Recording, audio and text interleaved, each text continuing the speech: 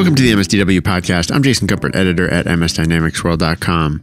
On this episode, we are talking about the needs of deskless workers today. My guest, Trevor Metcalf of Resco, offers his definition of what it means to be a deskless worker today and some of the expectations that they have about the types of technology that should support their work. We dive into some of the real world use cases that Resco has supported recently, ranging from the UN to travel to food and beverage. And we discuss the concept of adopting a fully mobile strategy with no back office desktops required to get the most out of the mobile technology. As you'll hear, I have some questions about that and what it means for the future. Trevor also tells me about Resco's upcoming event, Resco Connect. So let's get into it.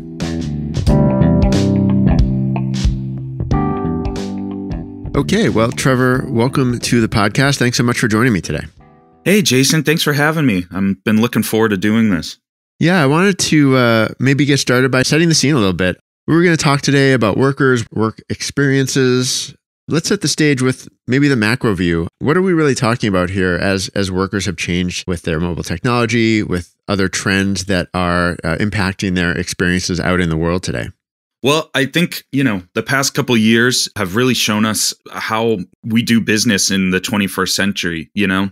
I think a couple big things that stand out for us at Resco one of which being just digital collaboration. That's been a big part of you know how we've evolved the way we work the past few years um, with everything going on. And we really see that now shifting into more future thinking for companies. How do we continue to collaborate digitally? And what do we need to do to make that happen? That's also because of other things as well you know workforce trends whether it be mixed workforces with more contract workers in the field trends like the silver tsunami or the great resignation still happening, companies are really looking at how do we empower employees and how do we do that you know through technology and through the tools that we have at our disposal. Things are really changing out there. And i think lastly too it's really about the power of mobile technology as well. You know resco we started making apps for palm pilots like 20 plus years ago and now we're looking forward at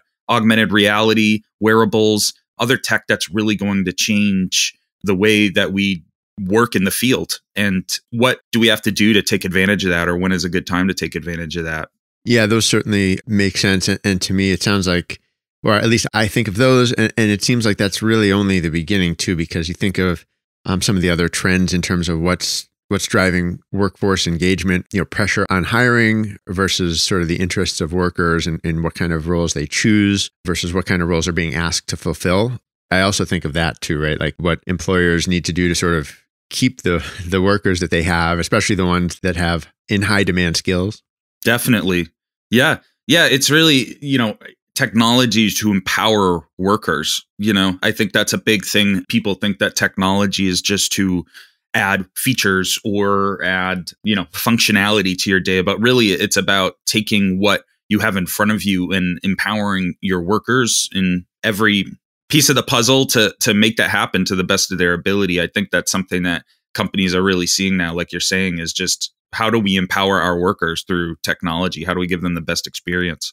And, and, just from my from my own perspective, one of the things that I find I, I sometimes get sort of a I guess a, a, train of thought that maybe I tend to get caught in, and I feel like a lot of the conversations in terms of business technology tend to get caught in is this this sort of notion of people sitting behind a desk, working in front of a screen, sitting down in an office environment. And and I mean, I think everyone knows sort of inherently that's not what everyone does, and that's not how all work gets done. But you close it, your eyes and you see office space, you know.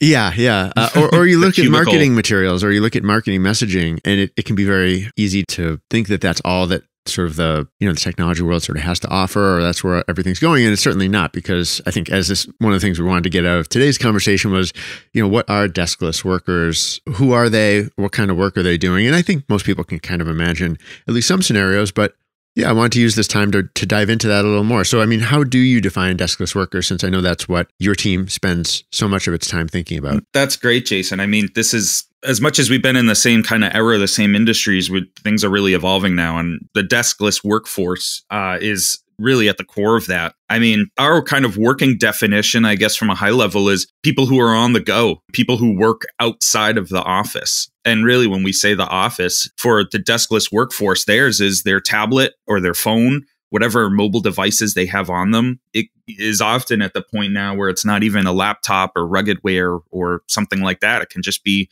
what fits in their pocket or their personal device. These are people who are really busy in the field. I mean, you you start your day and you're out for, you know, you can do your 9 to 5 without being at an office, you know. It involves a lot of things like data collection, forms, managing content, I mean, as we look at things in like in terms of inspections or field service, I mean, these workers are managing a lot of photos, videos, PDFs, really a lot of the same like volume of of work that people in the office are managing but they're just doing it without the desk you know and it's it's just interesting i mean these people are really like typical Resco users. You know, our, our, software is so flexible and built for the field that, you know, this is our goal is to improve their experiences as much as possible. And again, these are people who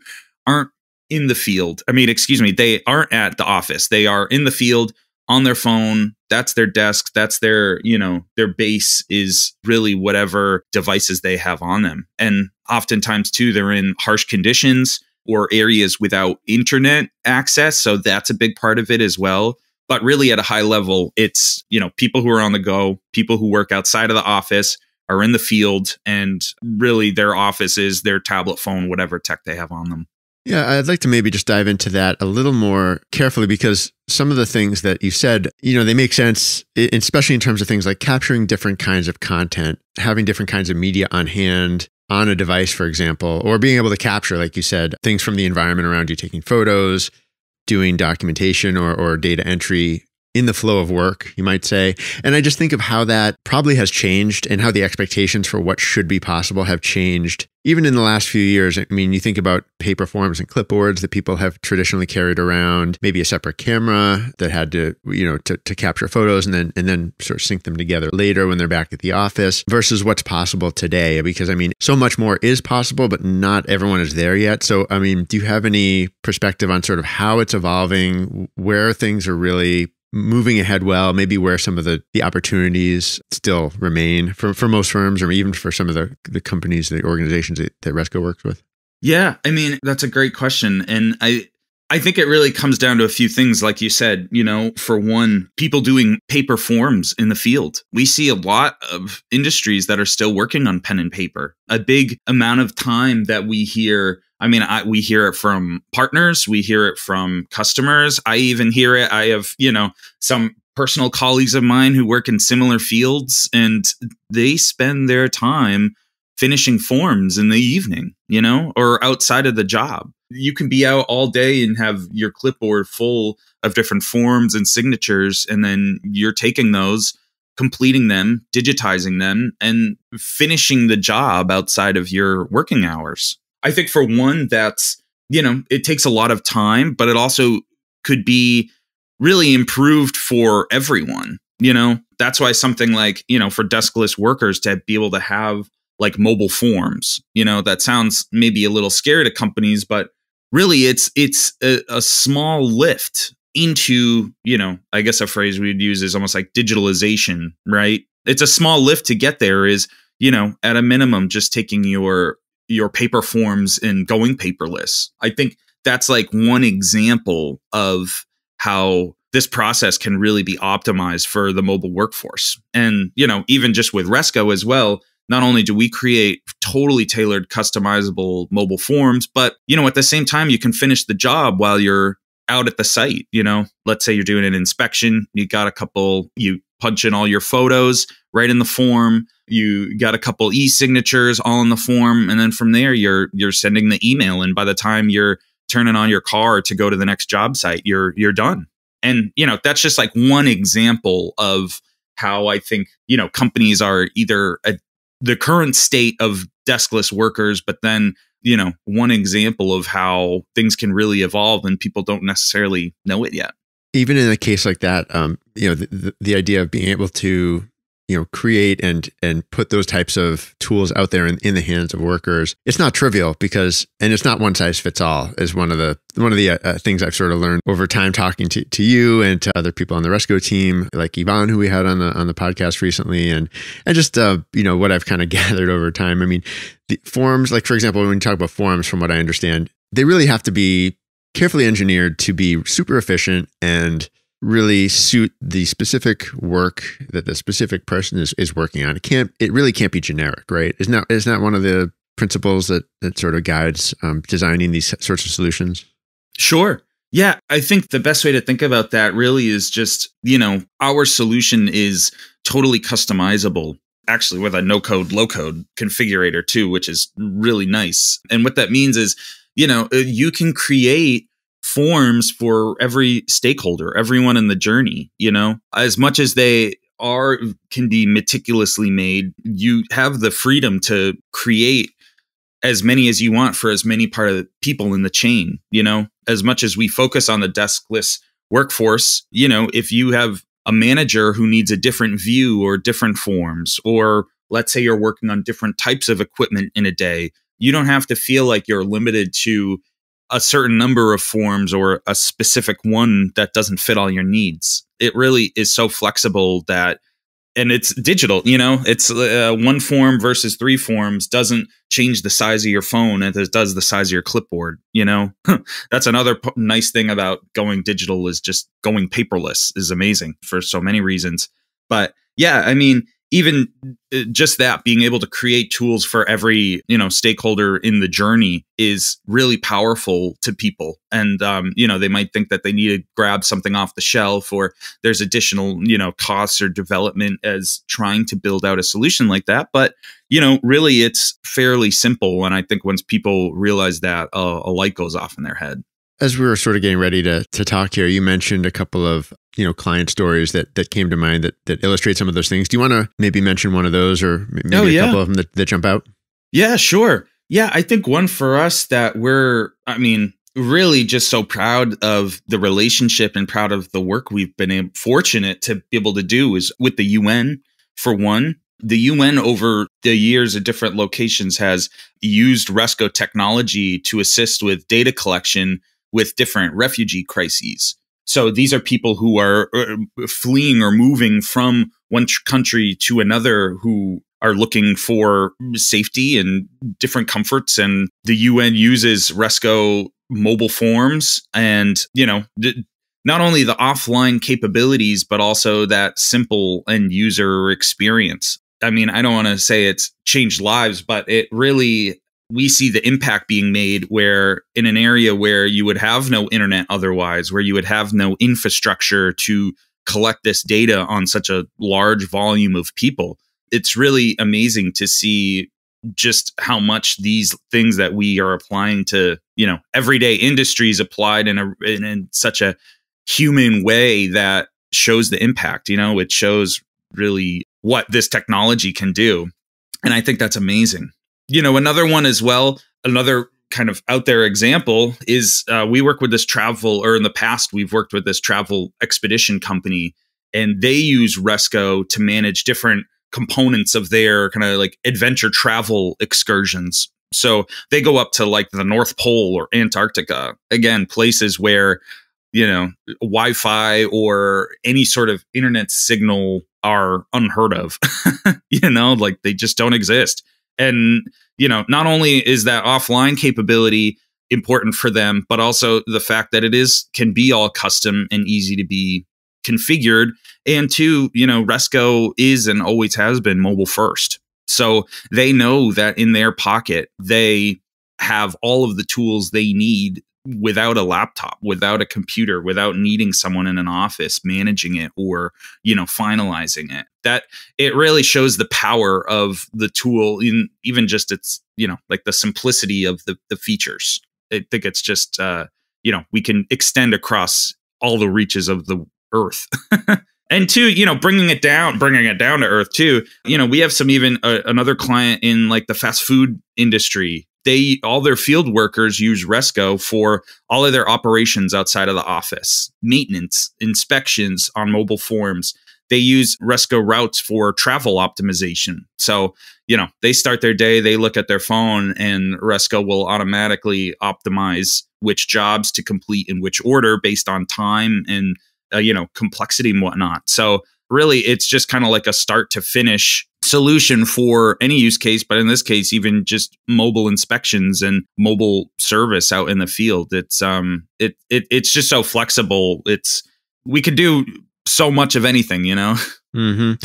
It's one of those situations where something like offline needs maybe dictate one whole set of one way of designing a solution, whereas something like a, a fast food business, like you're saying, where I'm guessing it sounds like largely connected most of the time, but so able to put in place a solution that just takes advantage of a lot of connectivity to optimize things in just a totally different way.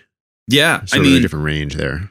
Yeah, it it has the flexibility to go in any direction, and I think that's once people see that again, the light goes off, and I think that's a big thing when we work with you know customers and partners. A big part of the the conversation is just that on getting that understanding and getting people to see the possibility. That's almost like step one, you know. Yeah, that was that was uh, something I wanted to ask you when it comes to the way that people understand the workers' needs uh, when you're designing a solution like this. And I, like you mentioned, your partners who are often the ones building out these solutions with clients. Can you talk a little bit more about for the partners how your team maybe helps guide partners on sort of how to work on these projects, how to approach a business need that does involve mobile workers? Sure. Yeah. And I think uh, for one, at a high level, it's really changing your mindset as much as it is changing the solutions that you use. You know, it's really when you're shifting from pen and paper to digital, it's not just the tools that are shifting, but the way you think about using them. And really, one piece of that is to see how customers and partners, you know, grow their thinking over time. It's really about starting somewhere and then seeing how things can grow from there. You know, we really just tell people, you know, it, it, it's about focusing on the tools that improve the end user experience. You know, like for that worker out in the field, what about the app or what about their forms can be are most effective? You know, it's not just translating them from paper to digital, it's optimizing along the way.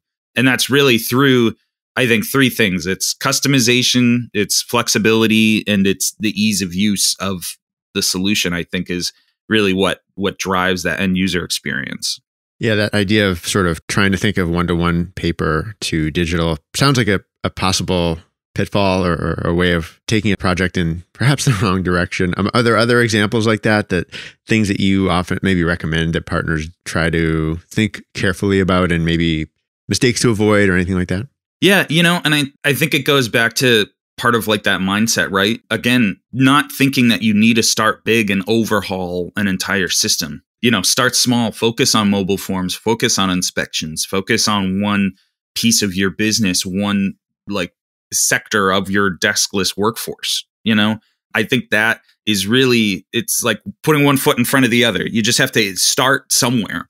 And I think another misconception too is that many think that you need like this desktop based back office or manager system but really in this day and age and with resco you can do everything on mobile. You don't necessarily need that back office system. You don't need that you know someone sitting in the manager's office with the controls for everything. You can set today you can set all of your you know your different dashboards your permissions your functionality all based on every stakeholder of your company you know? Every every function can have its own view its own system and i think that and it's all able to be done on mobile you know? Mm. whether it's resco whether it's anything else you know everyone is moving towards mobile. So i think that's something too that we see is is just people thinking that they need to have something on desktop or need to have something in the office when in reality if you have a phone or a tablet on you you can do everything in the field That sounds like maybe a, a challenging conversation in some cases that I could imagine a manager thinking that, yes, we, we need to keep this in the office. We don't need our workers to see it, or we shouldn't bother letting them see it. But is that what you're talking about? That in fact, many of those scenarios, you can put that knowledge or that control in the worker's hand out in the field. Is that is that what you're getting at there? Yeah, well, it's part of it. I think what I mean too is a lot of people think you need to have a central system, you know, like a central, all of your functionality is on desktop and mobile is just part of that experience.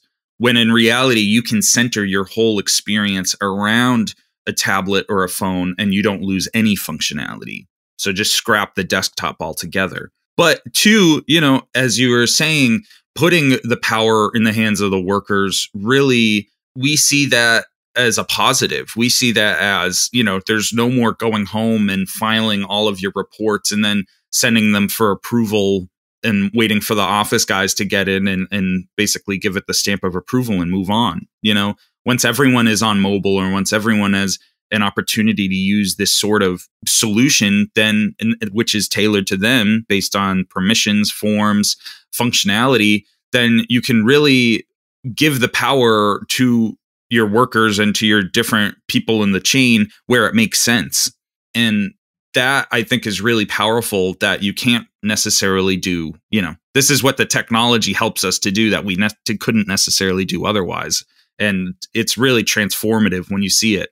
Plus, I think too, plus, I think too, you know, just when you have managers and we show when people see how much time and energy and money is saved by doing this as well, then they're sold you know? That's i think part of it too is that managers or people may have apprehensions to technology or about the overhaul of switching their whole you know system but once they see again the the time savings the money savings the you know effort savings it's they they get it. Yeah let me let me follow up on that a little bit more because when i tend to think about sort of the interaction between managers and field workers managers in the office i should say you do think of typically, you know, take a Dynamics 365 sales or something or a field service management tool that you have a manager view that's probably someone sitting in, at a desk on a browser, perhaps, or a dedicated app. And then you have workers with their own interface handling their work in a mobile. Are you talking about in this case, you know, a, a scenarios where really everyone is on mobile and the whole system is is run through sort of mobile app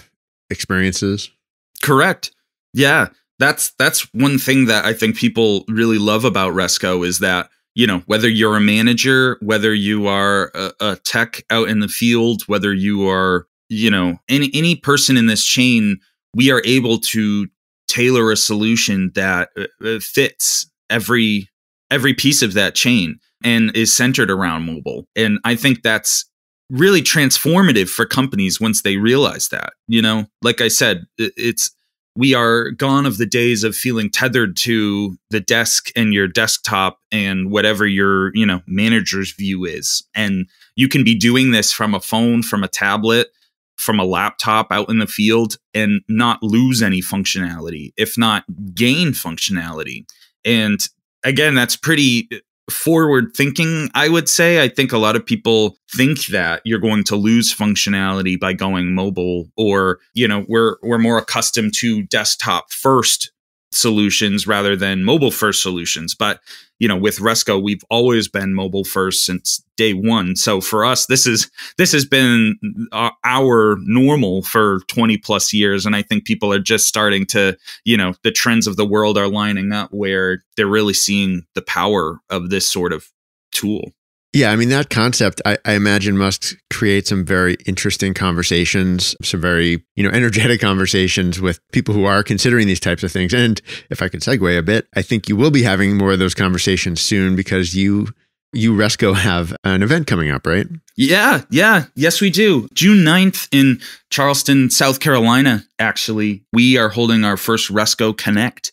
It's going to be a great event for customers, partners, anyone who is interested in the future of the deskless workforce. It's really just going to be a great day of panels of discussion, roundtables, and all centered around deskless workers and you know what's important to them and customer success stories and what we're hearing from our partners and customers as they're continuing this conversation like we had today every day. So yeah, we have some tickets still available. So if anyone listening would like to join us, we're more than happy to have you. Um, you can find our listing. We'll link it here, but um, you can also find us on Eventbrite if you search Resco Connect. And we'll, of course, you know, have links out on our site and then on our all our socials as well.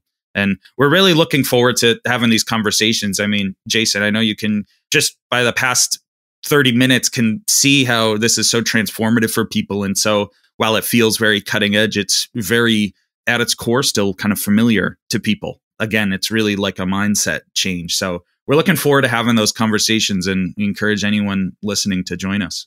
Yeah, it seems cutting edge, but it's also very, very much in the present, which is which is really great. Yeah, that's a great way to put it. Great. Well, Trevor, thank you so much for uh, for taking the time. It's always fun to talk about this stuff, and uh, appreciate having you on. Yeah, Jason, thank you so much. And to the MSDW team, we appreciate the collaboration as always. You guys are always fun to do these kinds of things with. This has been another episode of the MSDW podcast. My thanks to Trevor Metcalf for joining me. And this message is from Resco. Join Resco on June 9th, 2022, in Charleston, South Carolina, to share ideas and spark debates around deskless workers. Check out the link in the show notes to explore the agenda and secure your tickets while they last. And you can learn more about Resco at www.resco.net. And that's it for this episode. If you want to get in touch with me, send me an email, jgumpert at msdynamicsworld.com for all of our updates, please do follow us on LinkedIn and on Twitter. Until next time, this is MS Dynamics World, signing off.